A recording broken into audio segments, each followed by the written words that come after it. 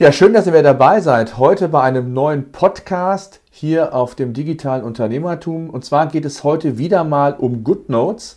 Und zwar bin ich nicht alleine, sondern habe mir heute mit Gabriel Jordan direkt einen Mitarbeiter von GoodNotes in die Sendung eingeladen. Und wir wollen natürlich über GoodNotes 5 sprechen, über die Entwicklung des Unternehmens insgesamt, ähm, was an Reaktion alles aufgekommen ist. Ich hatte bei uns in der Community ja auch äh, die ein oder andere ähm, das eine oder andere Posting rausgehauen, wo ihr Fragen stellen konntet, wo ihr vielleicht auch Wünsche äußern konntet äh, zu Features, die ihr vielleicht auch für die Zukunft seht. Da wollen wir heute drüber sprechen. Gabriel, schön, dass du bei uns zu Gast in der Sendung bist. Äh, bevor wir so richtig loslegen, stell dich doch kurz vor, wer bist du und was machst du genau bei GoodNotes? Ja, gerne. Ähm, erstmal danke für die Einladung auf jeden Fall. Ich freue mich auch. Also, wie schon gesagt, mein Name ist Gabriel und offensichtlich komme ich auch aus Deutschland. Ähm, der Rest der Firma sitzt allerdings nicht in Deutschland. Äh, ich bin der Einzige, der von hier aus arbeitet, ähm, sondern wir sind mittlerweile ein ganz bunt gemischtes Team ähm, mit einem äh, Office in Hongkong, weil der Gründer von dort stammt.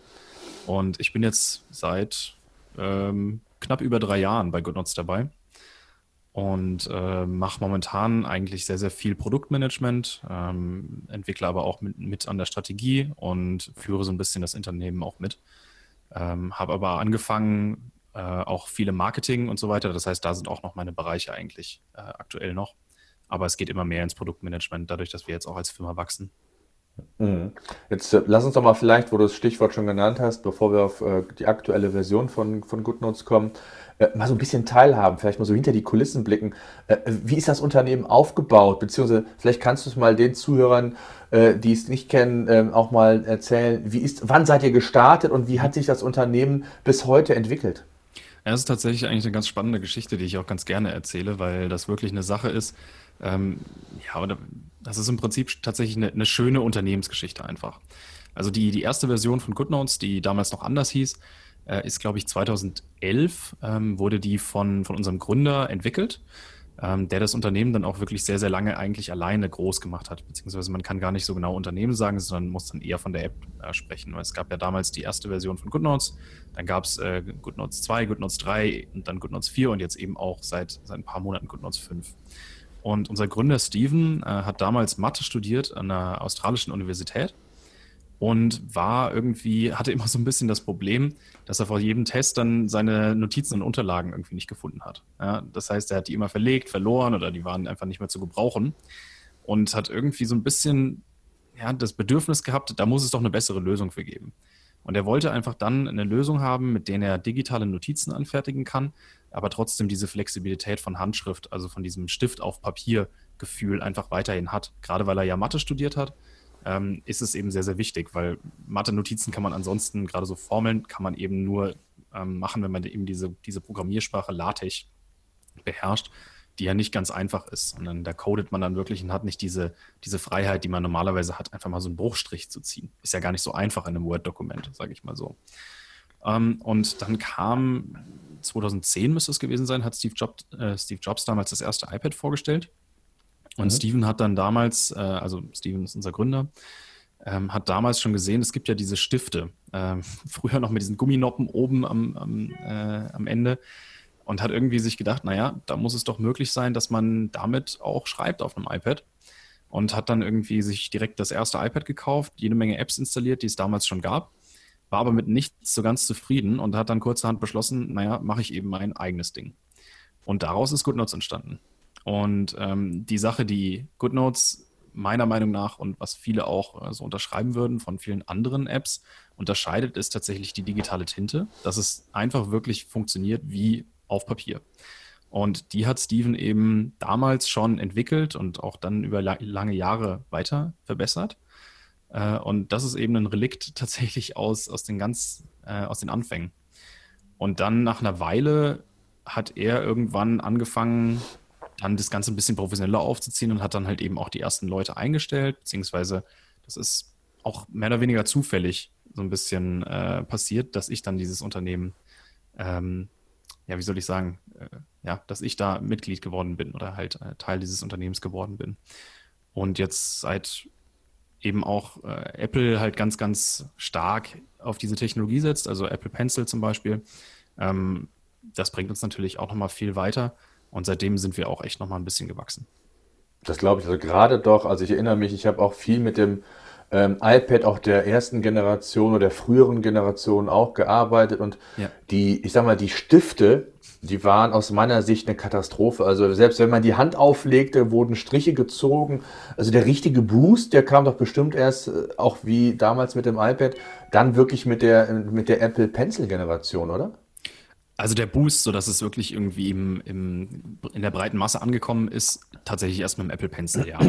ähm, aber es gab auch schon wirklich genug, und da gehöre ich eben auch dazu und du ja auch, die tatsächlich auch wirklich versucht haben, mit diesen ganz, ganz seltsamen und nicht fortschrittlichen Stiften da wirklich zu schreiben. Ähm, bei mir war es damals halt auch, weil ich in der Uni einfach zu viel Papier hatte und keinen Bock mehr darauf hatte. Und deswegen habe ich, ich echt dieses Opfer gebracht und habe mir diesen Gumminoppenstift äh, gekauft und habe damit mitgeschrieben.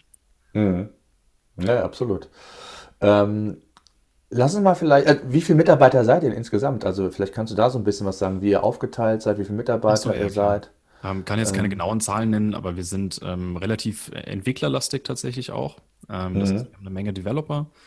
Dazu gehören auch ein, ein paar äh, Researcher, die an so Algorithmen bzw. Machine Learning ähm, Recherche betreiben. Ähm, wir haben Leute im Customer Support, wir haben eben mich als Produktmanager und auch Marketing-Mensch. Äh, und wir haben auch äh, Designer, also das heißt einfach eine relativ bunte Mischung da im Grunde. Was muss ich mir vorstellen? Hausnummer 50, mehr als 50, so, 100? Nee, nee. Wie, wie, viel sind das insgesamt? 10, ungefähr? 10 bis 20 sagt man ja immer. Okay. So ja, okay, okay.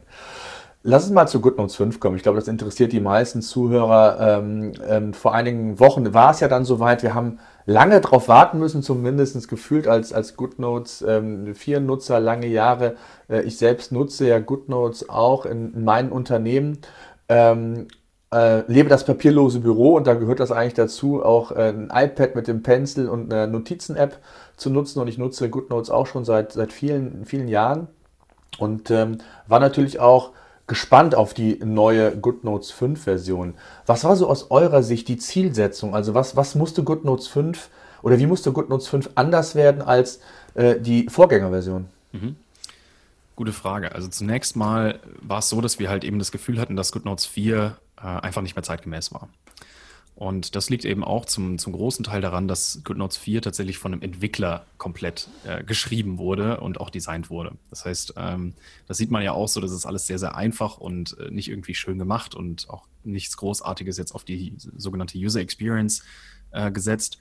Und das heißt, das war eins der Dinge, die wir machen wollten, dass wir gesagt haben, okay, wir wollen nochmal diese komplette GoodNotes Experience nochmal komplett ähm, von vorne beginnen und uns überlegen, wie sollten wir die, wie sollten die Sachen eigentlich aussehen. Das heißt zum Beispiel, ähm, ein, ein Resultat davon ist beispielsweise dieses, diese Kontext ähm, ähm, oder Contextual Area, wie, wie wir es in Englisch nennen, dass man eben ganz schnell eine neue Farbe wählen kann, wenn man den Stift angewählt hat oder sowas.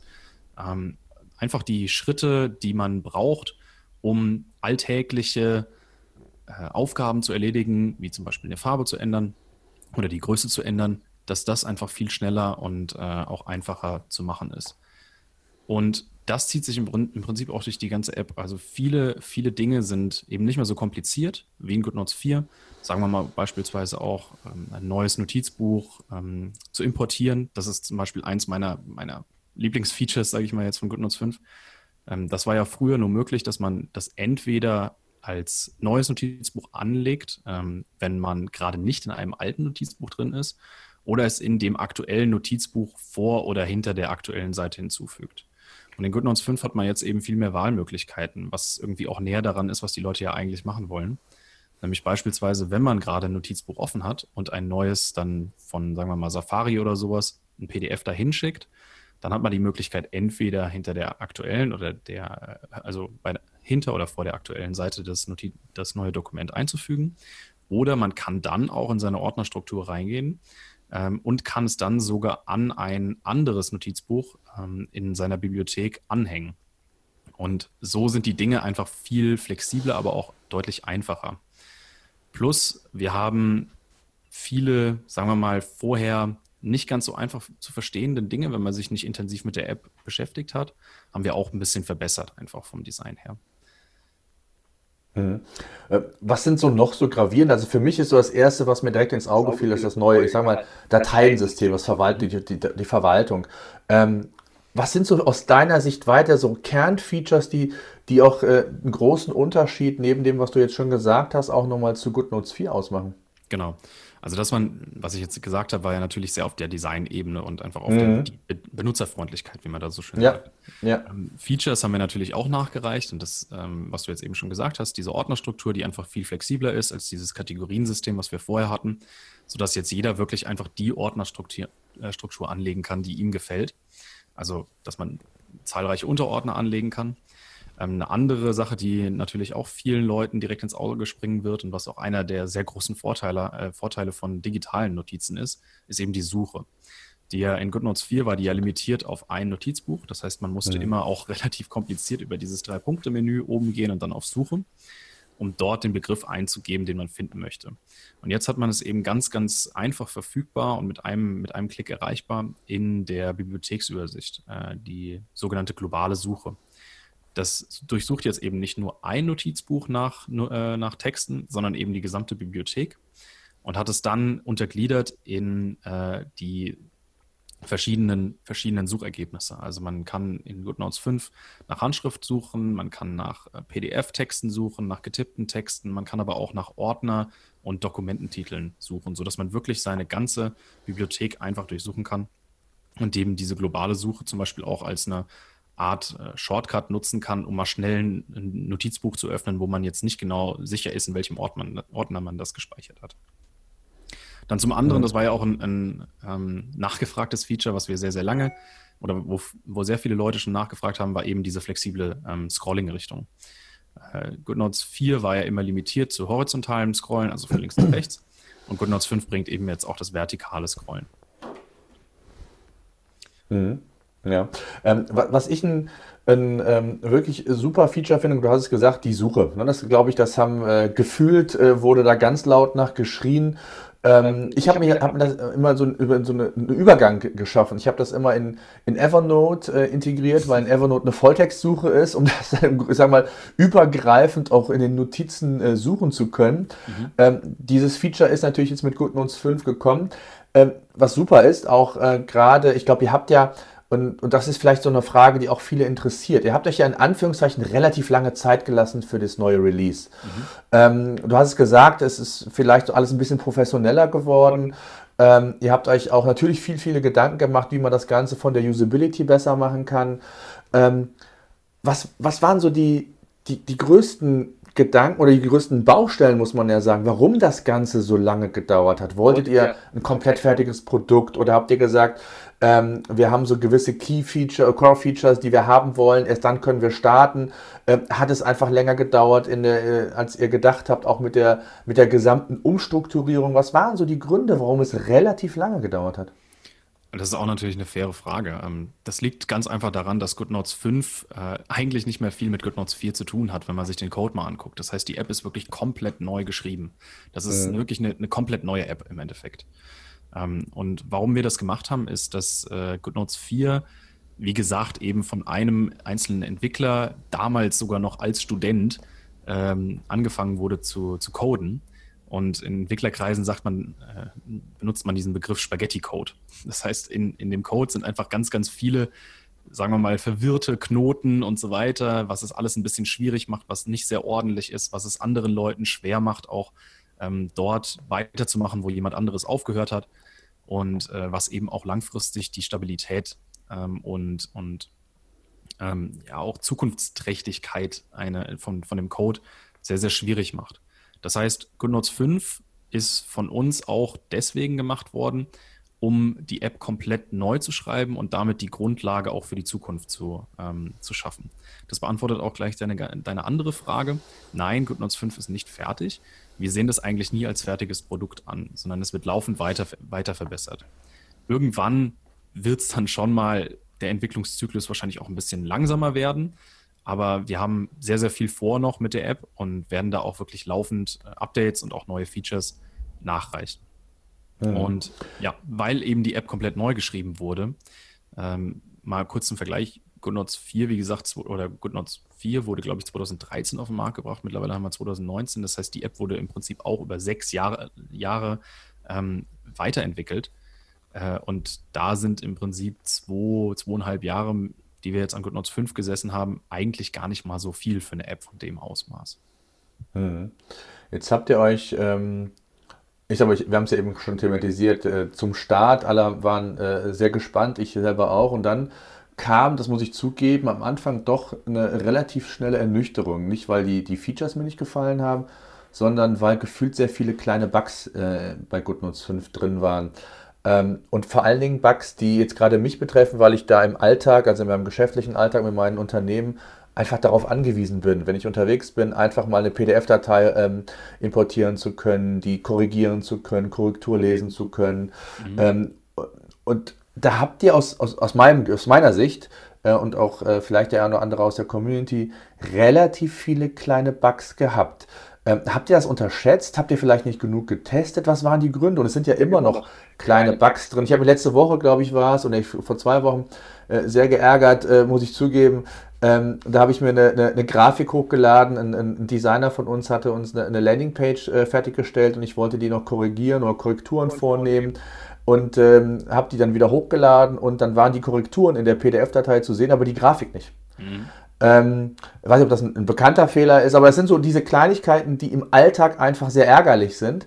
Ähm, habt ihr das unterschätzt oder, oder war das gar nicht so? Ist das nur ein subjektives Empfinden von mir, dass da relativ viele kleine Dateien sind, auch aus der Community kam, dass man viele größere Dateien entweder gar nicht hochladen konnte oder es hat sehr, sehr lang gedauert. Äh, wie ist das so aus, aus eurer Sicht? Also zunächst mal muss ich mich da natürlich sowohl bei dir als auch bei den Leuten aus deiner Community entschuldigen, ähm, dass wir da einfach wirklich auch noch eine Menge Bugs äh, haben, die wir jetzt aber auch in den, in den letzten Wochen äh, sehr, sehr intensiv bearbeitet haben. Ich werde jetzt nachher direkt das, das neueste Update äh, 5.0.23 hochladen, was dann in den nächsten paar Stunden im App Store verfügbar sein wird. Und äh, daran sieht man ja schon, wir haben jetzt wirklich innerhalb von wenigen Wochen haben wir 23 Updates zu dieser App veröffentlicht, Absolut. die halt wirklich ja. Die, die grobsten Fehler ähm, und aber auch eine Menge kleine Fehler mittlerweile ausgemerzt haben, plus bereits schon erste fehlende Features von GoodNotes 4 ähm, zurückgebracht haben in dieser Lesezeichenfunktion. Ähm, woran das aber auch liegt, ist eben, dass wir diese App komplett neu geschrieben haben. Ja? Das mhm. heißt, klar, wir haben es jetzt als Versionssprung vermarktet. Ähm, und das ist es für uns natürlich auch, aber man muss auch immer noch mal, man muss immer bedenken, dass es eigentlich eine vollständig neue App ist, die mit der anderen App gar nicht mehr so viel zu tun hat. Und ähm, wir haben intensiv getestet, auch mit Beta-Testern. Und ähm, ja, aber viele, viele Dinge fallen halt leider in so einem Beta-Test gar nicht auf, egal wie intensiv man testet und egal mit wie vielen Leuten man testet. Ähm, das ist leider einfach in der Softwareentwicklung normal. Und äh, was, das Einzige, was wir machen können, ist, wir können so schnell wie möglich versuchen, eben alle diese Bugs zu finden und die dann auch zu, zu beheben, was wir ja auch gerade aktuell machen. Äh, zum Vergleich dazu, bei GoodNotes 4 war das damals nicht wirklich viel anders, als, das, äh, als die Version auf den Markt gekommen ist. Äh, genauso wie bei, bei anderen Apps, äh, Konkurrenten, die dann eine komplett, ähm, also eine komplett neue Version als separate App veröffentlicht haben, anstatt die alte abzudaten. Ähm, die haben genauso ihre ähm, Kinderkrankheiten, wie man in Deutsch immer, immer sagt. Und ja, also das war zu erwarten. Ähm, wir wussten, dass es nicht schön wird, aber das ist leider ein notwendiges Übel und wird sich langfristig aber auf, auf jeden Fall lohnen, weil eben diese, diese Struktur, diese Architektur intern äh, einfach viel, viel besser ist, als GoodNotes 4 jemals hätte sein können. Zu ja. dem Punkt auch noch beispielsweise sowas wie eine, eine übergreifende oder eine ordnerübergreifende Suche, die über eben unendlich viele Ebenen von Unterordnern ja. geht, wäre in GoodNotes 4 gar nicht möglich gewesen mit der alten Architektur. Ähm, was man auch wieder an anderen Apps sieht, ähm, die eben so eine veraltete Architektur benutzen, die haben zum Beispiel nur zwei Ebenen der Organisation. Mhm, naja, absolut. Ähm, was ich mich mal gefragt habe, oder ich sehe es auch äh, bei uns am, am YouTube-Kanal, ist es noch viel eindeutiger. Wer ist eigentlich eure Zielgruppe? Also, wie, wie, segmentiert ihr die? Es ist ja letztendlich ein ganz breites Spektrum, stelle ich mir vor, vom, ich sag mal, Studenten, vom Schüler äh, bis hin zum Geschäftsmann ähm, oder auch Privatpersonen, die ihre Notizen digital erfassen wollen. Habt ihr, ich sage jetzt mal so Kernzielgruppen, die ihr äh, entsprechend bespielt oder wie, wie muss man sich das vorstellen?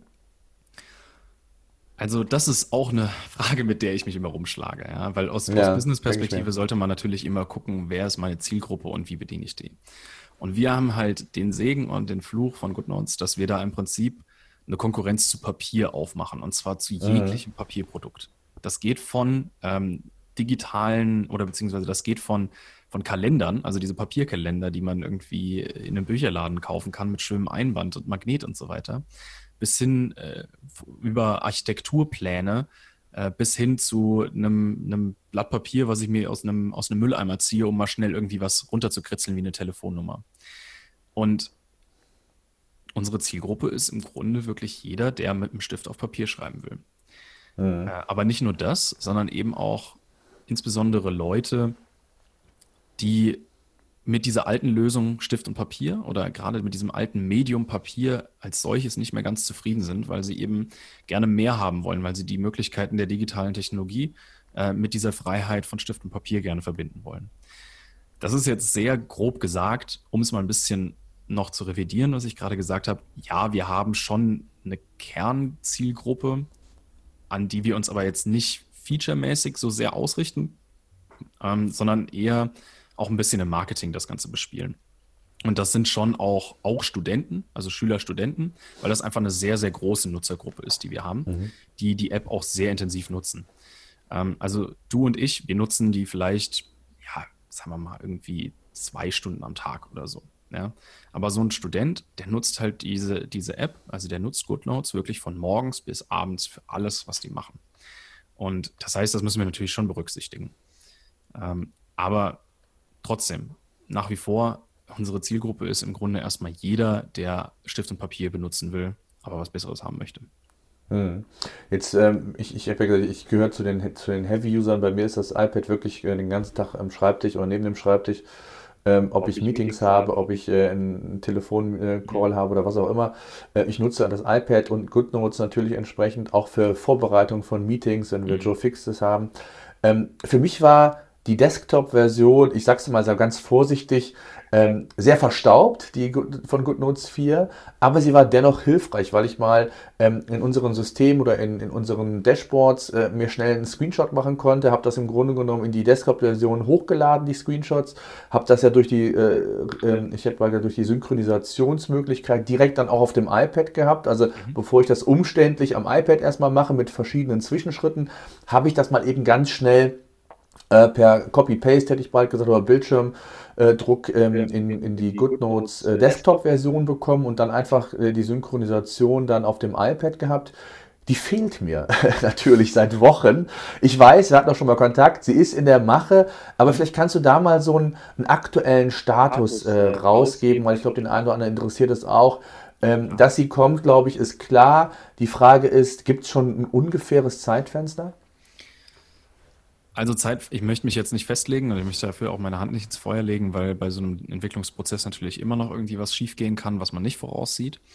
Ähm, trotzdem wollen wir sie natürlich so bald wie möglich rausbringen und äh, wir testen die Version auch gerade schon, also die ist in einer, in einer semi-öffentlichen Beta, das heißt, man kann sich eintragen äh, und wird dann einfach nach einer Weile eingeladen. Wir sind jetzt gerade, haben glaube ich irgendwie knapp 7000 Leute schon eingeladen, äh, die die App auch schon benutzen. Die meisten sind schon auch sehr zufrieden ähm, Zeitfenster. Wir wollen die Version eigentlich gerne mm, ja, etwa im April oder Mitte, Ende April veröffentlichen. Aber wie mhm. gesagt, ich möchte mich da jetzt noch nicht, möchte da jetzt nicht meine Hand für ins Feuer legen.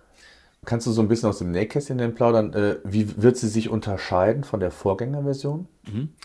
Also erstmal natürlich wird auch, also ja, du hast die Vorgängerversion ja schon genutzt. Äh, schön war die ja nicht, muss man mal ehrlich sagen. Ja, also war. Das hast du gesagt. ja, das sage ich jetzt einfach mal so. Das war keine, ja. keine besonders tolle App. Die war einfach ein bisschen verstaubt, war kompliziert, hat zwar im Grunde das getan, was sie tun sollte, aber war im Grunde eigentlich ja mehr oder weniger nur eine Kopie von der, von der iPad-App dann auf dem Mac. Und ähm, die neue App, die haben wir so ein bisschen da haben wir uns halt wirklich mal hingesetzt und so gehen wir eigentlich auch an die Dinge ran, dass wir uns überlegt haben, was wollen die Leute damit eigentlich machen. Und erstmal ist klar, jemand, der an einem Mac arbeitet, der geht nicht davon aus, dass er da irgendwie jetzt super viele handschriftliche Notizen machen kann. Ja, also der, der schreibt nicht wie auf einem iPad mit einem Apple Pencil mit. Das macht einfach keiner, geht nicht.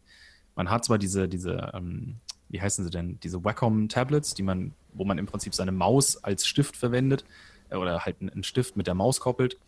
Das geht dann schon, aber es ist auch nicht das ideale Gefühl. Ähm, wie du jetzt schon gesagt hast, eines der großen Dinge, die man eigentlich macht, ist im Prinzip so ein bisschen die Dokumentenorganisation auf dem Mac, weil das da einfach sehr schön geht. Du hast diesen Desktop, du kannst sehr viel mit der Maus machen, mit Drag and Drop, ähm, du kannst sehr viel mit dem Keyboard arbeiten. Ähm, du hast einen größeren Bildschirm in der Regel, ja, oder hast auch die Möglichkeit, den sehr schön einfach an einen externen Bildschirm oder sowas, oder wenn man einen iMac hat, sogar einen, einen 27 Zoll Bildschirm ähm, anzuschließen. Und diese Hardware ähm, Voraussetzungen sind einfach ein bisschen dem zugrunde gelegt, wie wir diese neue App gestaltet haben. Das heißt, wir wollen eine App machen, die es den Leuten sehr einfach macht, äh, ihre Dokumente zu verwalten, auf die Informationen, äh, die sie auf dem iPad gemacht haben, zuzugreifen, wenn sie denn, wenn sie dann ähm, die am Mac brauchen. Ähm, und ein Teil davon wird beispielsweise auch eben diese globale Suche sein. Das heißt, auch auf mhm. der Mac-Version kann man dann komplett über seine gesamte Bibliothek drüber hinweg suchen. Mhm. Du kannst dir das ungefähr so vorstellen, ähm, sagen wir mal, du machst in einem Meeting, äh, machst du Notizen äh, auf deinem iPad und setzt dich dann später irgendwie in dein Büro, ähm, setzt dich an deinen, an deinen Schreibtisch äh, und willst dann das Meeting zusammenfassen oder eben die Informationen, die du dir gerade auf dem iPad gemacht hast, am Mac in, irgendwie, in irgendeiner Form weiterverarbeiten. Und genau dafür wird dann eben die Mac-Version, ähm, wird dafür genau da sein. Das heißt, dass ich relativ einfach an meine Sachen rankomme und dass es mir GoodNotes auch so ein bisschen einfacher macht, die weiter zu verarbeiten. Also das mhm, ist so ein bisschen okay. die Idee dahinter. Ja, jetzt habt ihr ja, ähm, vielleicht kannst du da auch noch was zu sagen. Also GoodNotes 4 ähm, oder anders gesagt, wer GoodNotes 4 Nutzer war, konnte ja, ich sag mal, kostenlos per Bundle updaten auf GoodNotes mhm. 5. Ähm, wie sieht das aus mit der Desktop-Variante? Gibt es da schon irgendeine Information? Wird das äh, ebenfalls kostenlos für die Nutzer zur Verfügung stehen oder wie sieht es da insgesamt aus? Wir wollen äh, höchstwahrscheinlich einen ähnlichen Weg gehen, wie wir für ähm, die iOS-Version gemacht haben. Mhm, okay.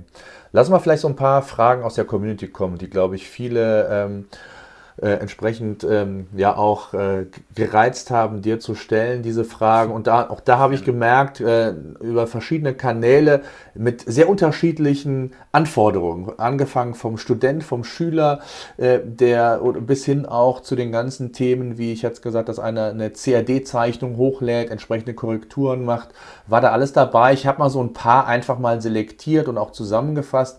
Ähm, ein, ein, eine häufige Frage, was mich gewundert hat, weil war für mich so gar nicht im, im Fokus, ist so das Thema äh, des Laserpointers, der in GoodNotes 4 verfügbar war, in GoodNotes 5 aber noch nicht.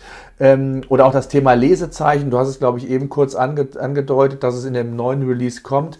Äh, wie sieht es mit diesen beiden Funktionen aus? Und vielleicht kannst du direkt sagen, was das neue Release vielleicht so an, an Core-Features oder auch Bugfixes, so wesentliche Dinge hat. Dann haben wir das vielleicht so in einem. Du meinst jetzt die Version, die ich nachher hochlade? Ja, genau. Also da wird jetzt von den beiden, äh, beziehungsweise, also fangen wir anders an.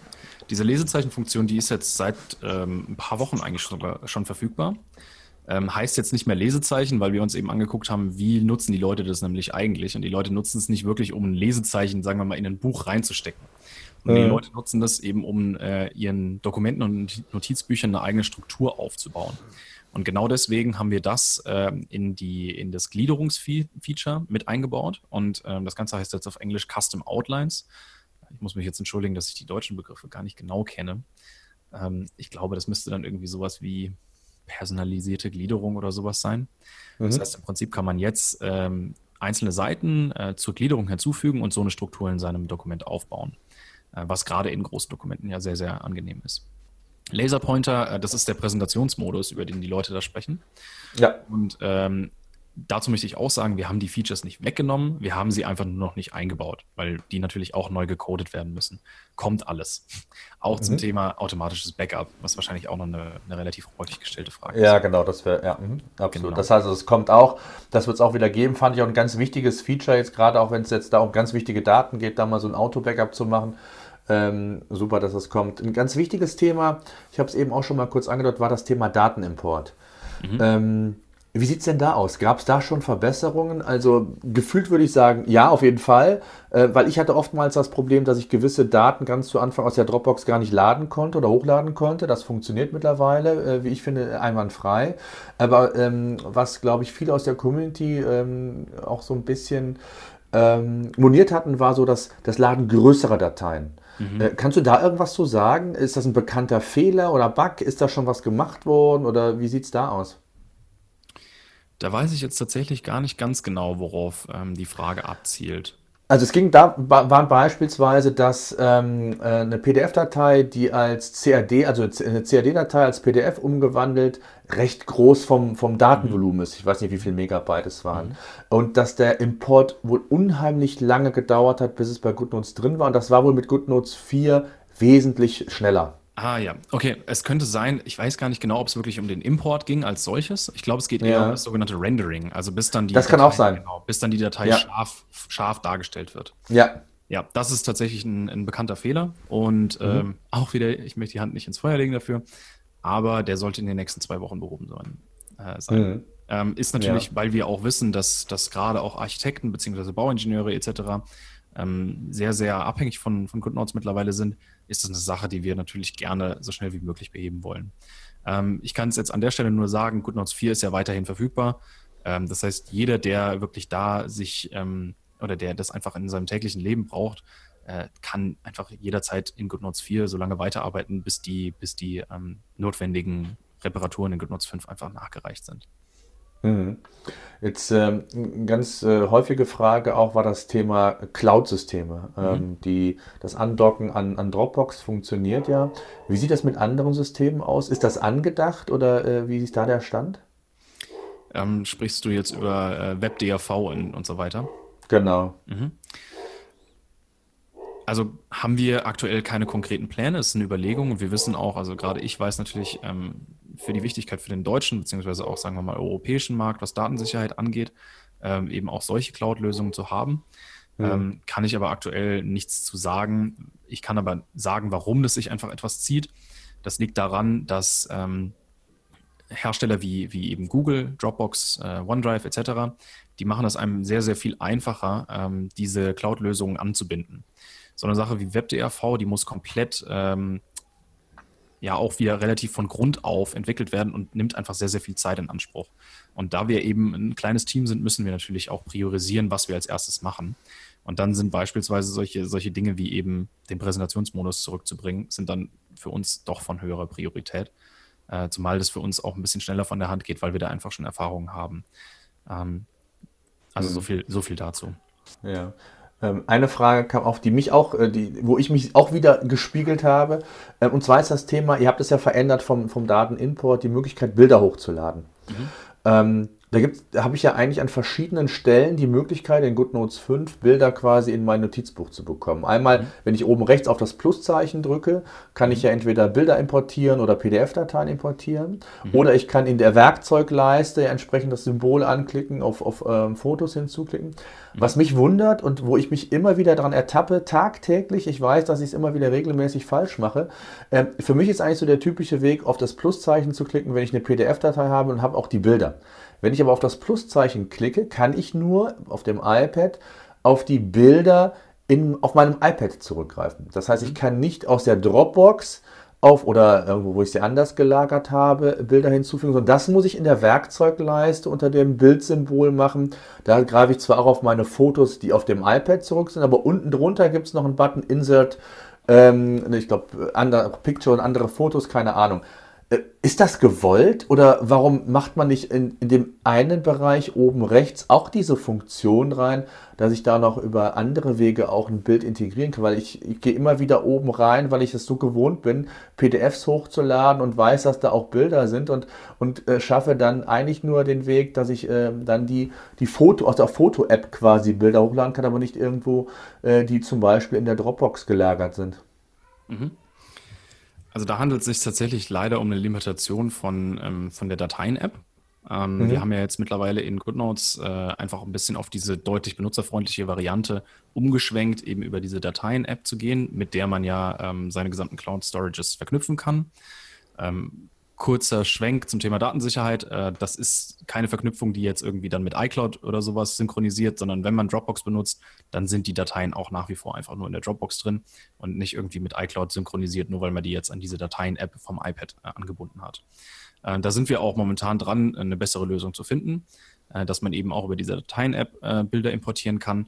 Ähm, ist aber etwas kompliziert, aber ich bin relativ zuversichtlich, dass wir das auch bald lösen können. Und ansonsten hat man auch nach wie vor die Möglichkeit, dann quasi aus der Dateien-App ähm, einfach per Drag and Drop diese Fotos, die man oder Bilder, die man eben in GoodNotes importieren will, ähm, halt in der Dateien-App zu öffnen und dann einfach in GoodNotes rüberzuziehen. Sagen wir mal, man öffnet beide Dateien, äh, beide Apps links und rechts im Split, Splitscreen und kann dann einfach von rechts nach links die, die Dateien per Drag and Drop reinziehen. Das dürfte gehen, wenn hm, ich da jetzt nichts okay. Falsches erzähle. Ja, okay. Ähm, lass uns vielleicht mal so zum Schluss auch mal äh, nochmal darüber sprechen, wie es mit GoodNotes 5 weitergeht. Vielleicht erstmal, was das aktuelle Update angeht. Gibt es da äh, neue Features? Du hast gesagt, neben Bugfixing versucht ihr natürlich auch immer wieder neue Features, die vielleicht in GoodNotes 4 waren, in GoodNotes 5 zu integrieren. Äh, was bringt das neue Update mit konkret? Kannst du da schon so ein bisschen aus dem Nähkästchen plaudern? Also das, das 0.0.23, ähm, das wird nichts Großes. Ähm, das sind ein paar kleinere, kleinere Änderungen, ein paar Bugfixes, ähm, und äh, also da ist jetzt noch nichts Besonderes angeplant. Mhm.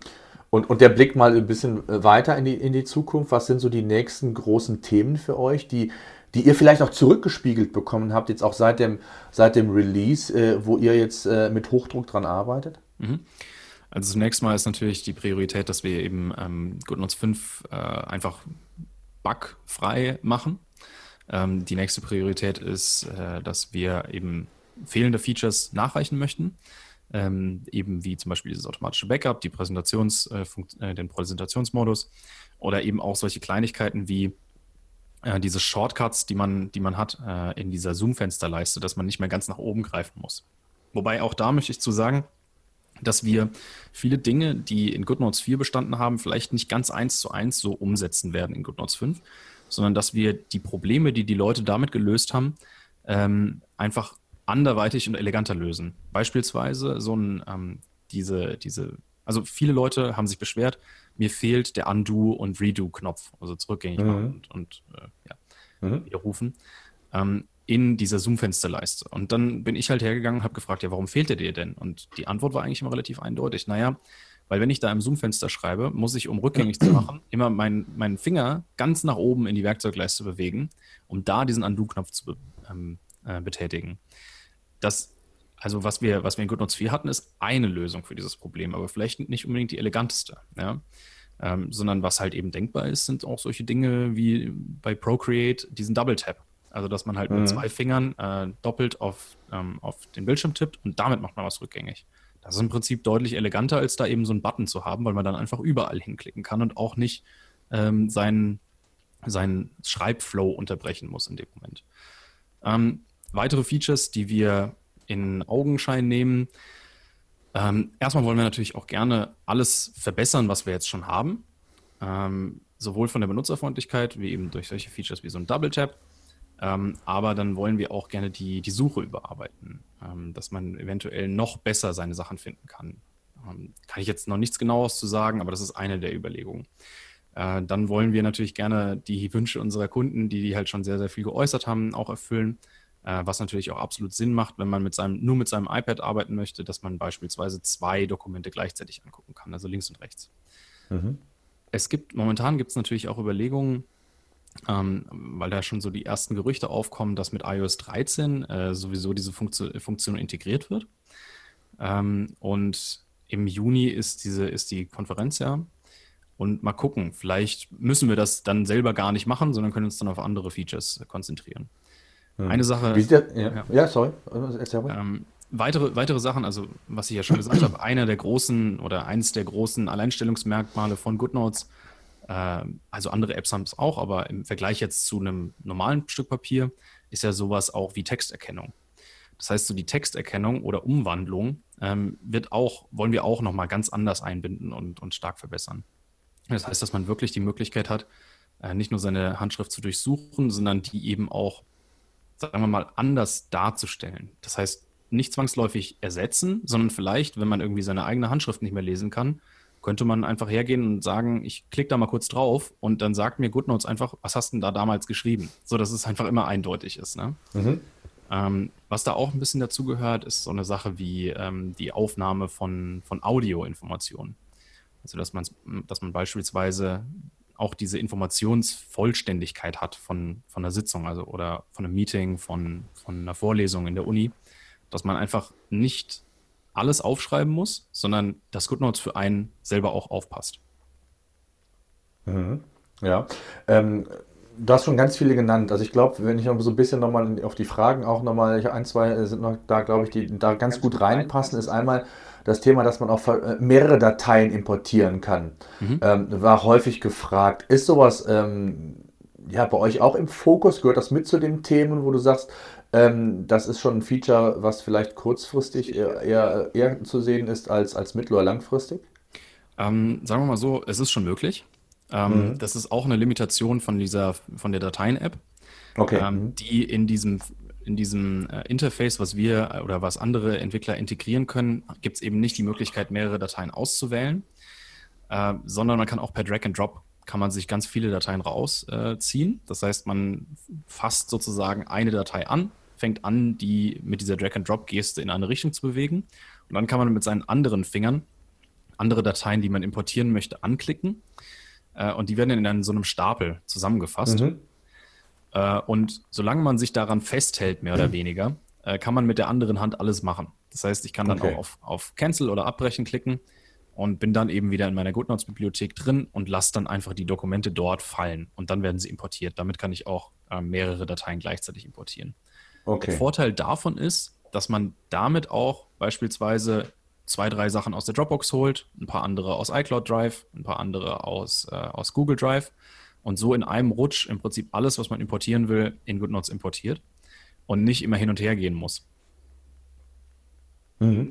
Ähm, was mich am Anfang, ich war, war sehr unsicher, aber ähm, ich nutze die Funktion zugegebenermaßen relativ selten.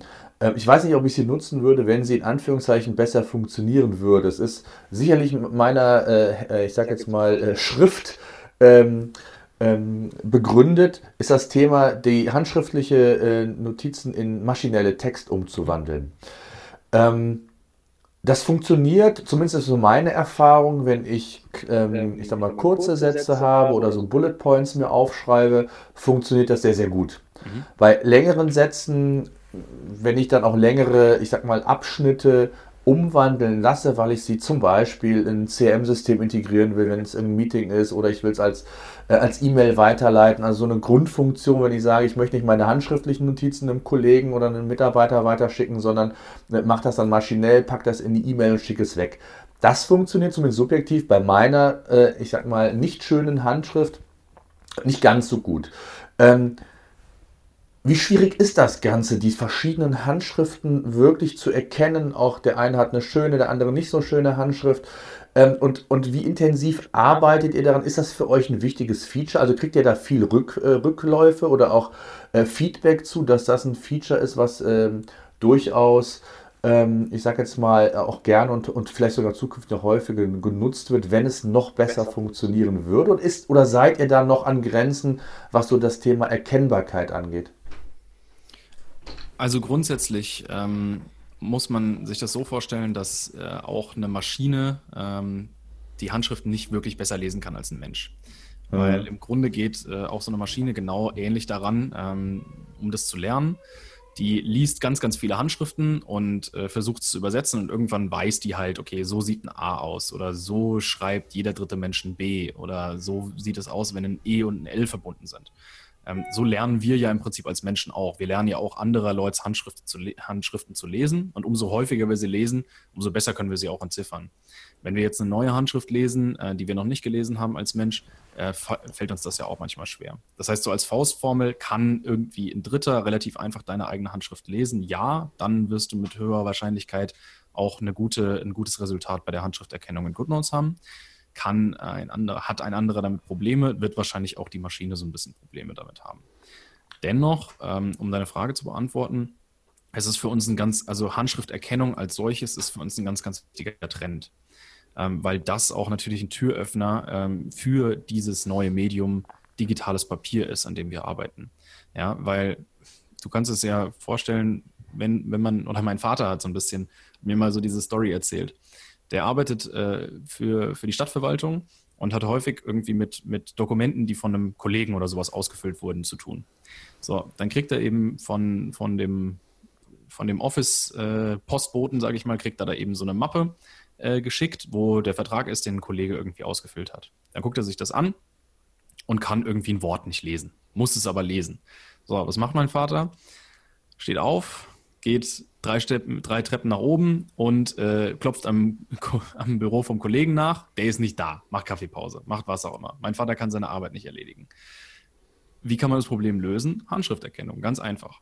Ja? Das heißt, wenn mein Vater jetzt einfach hergehen würde und könnte mit einem Klick entziffern, was sein Kollege da geschrieben hat, wäre doch geil. Da wäre jedem geholfen. Und das würde auch diese ganze Produktivität äh, in, in, nicht nur öffentliche Verwaltung, sondern, sondern allgemein, in Krankenhäusern, ja, Ärzte, was haben Ärzte für eine furchtbare Handschrift teilweise, dass die Krankenschwestern oder äh, Pfleger das nicht lesen können. Mhm. Also das ist ein Trend. Das ist natürlich ein Trend und an dem wir auch dran sind. Hm. Gibt es denn die Möglichkeit, gibt es denn auch die Möglichkeit, also ich, ich stelle es mir ganz einfach vor, ähm, dass im Grunde genommen, es gibt ja verschiedene lernende Systeme, mhm. ähm, dass man einfach sagt, wenn bestimmte Buchstaben nicht erkannt werden, weil die schon relativ gleich immer aussehen, dass man äh, dem System einfach, ich sag mal, Input-Informationen gibt, damit das System ich sage, im Laufe der Zeit immer besser wird? Ist, ist das äh, zu weit gedacht oder wie sieht das aus? Nee, das ist ganz genau der richtige Gedanke im Grunde. So würde Machine Learning ja funktionieren. Äh, problematisch ist das nur, dass äh, dafür eine extrem hohe Rechnerleistung aufgewendet das werden muss, mir, ja. ähm, mhm. die nicht auf dem Gerät ähm, funktioniert. Das heißt, die muss okay. extern gemacht werden. Die muss dann extern und das ist dann wieder ein Problem. Genau. Das ja. heißt, entweder müsstest du irgendwie die Sachen in der Cloud hochladen, das heißt, man bräuchte immer Internetverbindung, äh, was dann aber so ein bisschen die Performance einfach einschränken würde. Äh, oder du müsstest dir auch so einen Supercomputer irgendwo in dein, in dein Wohnzimmer stellen, was aber natürlich ein bisschen teurer, äh, teurere Angelegenheit mhm. ist. Ja, ja, absolut. Und das heißt, da müssen wir einfach ein bisschen geduldig sein, bis da die äh, Handschrifterkennung auf einem, auf einem Status ist ja, und einfach genug gelernt hat schon. Mhm. Was könnt ihr machen, das vielleicht so als, als letzte Frage, äh, wurde auch sehr, sehr häufig genannt, auch so ein bisschen der Blick vielleicht in die Zukunft. Ähm, ich weiß, dass viele, auch Nutzer von uns, äh, viel mit, mit größeren Fotodaten arbeiten. Mhm. Und die ähm, in GoodNotes einspielen und dann als PDF ähm, exportieren äh, und dann das Problem haben, dass sie dann für den reinen E-Mail-Versand meistens viel mhm. zu groß sind. Mhm. Gibt es da oder arbeitet ihr, ihr, da an Möglichkeiten, wie ihr diese PDF-Datei oder insgesamt eure äh, Notiz vielleicht so komprimiert, dass sie von der Qualität her noch immer so ist, dass sie, wenn ich sie in eine PDF-Datei wandle, ähm, noch wirklich, ich sag mal, augenscheinlich gut aussieht, aber vom Datenvolumen um ein mhm. Vielfaches reduziert ist? Äh, das ist ein Problem, was uns bekannt ist. Oder ist das illusorisch? es ist nicht illusorisch. Ähm, das ist ein Problem, was uns bekannt ist. Allerdings haben wir dafür jetzt noch nichts Genaues auf der Agenda. Also wir wissen, dass das problematisch ist und wir wissen auch nach wie vor, dass E-Mail-Verkehr natürlich eine, ähm, immer noch ein sehr, sehr wichtiger Weg ist, um eben PDF-Dateien zu verschicken und gerade eben auch aus GoodNotes. Ähm, eventuell haben wir da eine Lösung in petto, die eventuell noch eleganter ist. Äh, kann ich aber jetzt noch nicht zu viel sagen. Okay. Ähm, trotzdem ist es natürlich etwas, was uns umtreibt, dass Leute auch mit Dokumenten äh, oder die versenden und an anderen Leuten zur Verfügung stellen wollen. Ähm, und da kann man, da ist E-Mail vielleicht nicht die einzige Lösung, sagen wir mal dazu. Hm. Ja. Ähm, vielleicht eine letzte Frage, die, ich, die mir gerade noch, äh, die, die auch sehr häufig kam. Ähm, und zwar das Thema, wenn du ähm, Dritt-Apps verwendest. Ich habe es eben mal gesagt, ich nutze oder habe mir dabei geholfen oder auch archiviere grundsätzlich auch meine Notizen oder viele davon äh, in Evernote. Mhm. Ähm, das ist jetzt aus, aus meiner Sicht nicht optimal. Ich habe immer einen Zwischenordner bei, in der Dropbox, einen Transferordner, wo ich dann im Grunde genommen von, von GoodNotes das dann entsprechend in das richtige Notizbuch ähm, in Evernote mir äh, importiert habe. Ähm, Gibt es da Lösungen oder arbeitet ihr da an Lösungen, wie man diesen, ähm, ich sag mal, dieses, diese Connection, diese Synchronisation vielleicht auch zu Dritt-Apps noch verbessern kann? Mhm. Also da haben wir momentan eigentlich keine Pläne für. Ähm, mhm. Das steht, steht, nicht auf der Agenda. Ähm, was natürlich möglich ist, das ist aber wahrscheinlich ein bisschen kom komplexer. Ähm, da verlassen wir uns ein bisschen, sage ich mal, auf Apple. Ja. Also die haben ja diese Workflow-App gekauft und eben auch dann mit, mit Siri-Shortcuts, beziehungsweise mit der mhm. Einfach eine Möglichkeit äh, gegeben, äh, Apps ein bisschen zu ver verlinken, ja, wenn man sich damit ein bisschen beschäftigt. Und GoodNotes funktioniert mit der Shortcuts-App, äh, ist auch offen dafür. Und äh, wir arbeiten auch an Möglichkeiten, äh, Dateien aus GoodNotes ein bisschen verfügbarer zu machen. Das heißt, äh, da wird es eventuell Möglichkeiten geben, aber wir werden jetzt nicht und wir haben nicht vor, spezifisch für ähm, die, sagen wir mal, Evernote oder irgendeine andere Drittentwickler-App jetzt eine Brücke zu bauen. Ähm, zumal das dann, dann immer einfach dann auch auf eine App limitiert ist, sondern wir wollen eigentlich eher Lösungen haben, die äh, deutlich flexibler sind. Hm. Okay. Gabriel, ich danke dir sehr mal für den Einblick mal. Ich glaube, das war mal sehr, sehr spannend und interessant, einfach mal zu hören, wie, wie ihr tickt, wer eigentlich hinter dem Unternehmen auch steckt und, und gleichzeitig auch, glaube ich, ähm, sehr menschlich und authentisch auch das Ganze rübergebracht. Und ich glaube, jeder weiß, der mit Software zu tun hat, ich, ich spreche aus Erfahrung, ähm, wir selbst haben ja auch eine, eine SaaS-Company, ähm, ähm, der weiß, dass da immer wieder auch unvorhersehbare Dinge kommen, die äh, vielleicht, vielleicht in einem ersten Testing funktioniert haben und dann, wenn es äh, scharf geschaltet und hochgeladen wird, dann auf einmal doch irgendwie äh, fehlerhaft ist. Also von daher glaube ich, muss man da sicherlich ähm, das ein oder andere äh, da äh, ja vielleicht nicht ganz so kritisch sehen, wenngleich man natürlich sagen muss, wenn es im, im Alltag nicht nutzbar ist oder wäre, äh, dann, dann, dann ist es halt schwierig, weil ähm, man, ist, man ist natürlich darauf angewiesen, in Anführungszeichen. Klar kann man natürlich zu einem Wettbewerber gehen, aber äh, ich glaube, ähm, wenn man da jahrelang mitgearbeitet hat, zufrieden war, dann, dann ist man da auch sehr loyal ähm, äh, der App entsprechend in, in dem Fall äh, euch dann zugewandt. Also von daher, ähm, ja, danke für deine Zeit und wir sind gespannt, was denn da so kommt. Ja, danke auch ähm, nochmal für die Einladung, hat mir Spaß gemacht. Ähm, und äh, das ist auch eine Sache, die ich nochmal kurz abschließend sagen wollte. Wir sind natürlich auch super dankbar für die Loyalität und das Verständnis, was uns von, von ganz, ganz vielen Leuten entgegengebracht wird. Und es wird sich auf jeden Fall lohnen.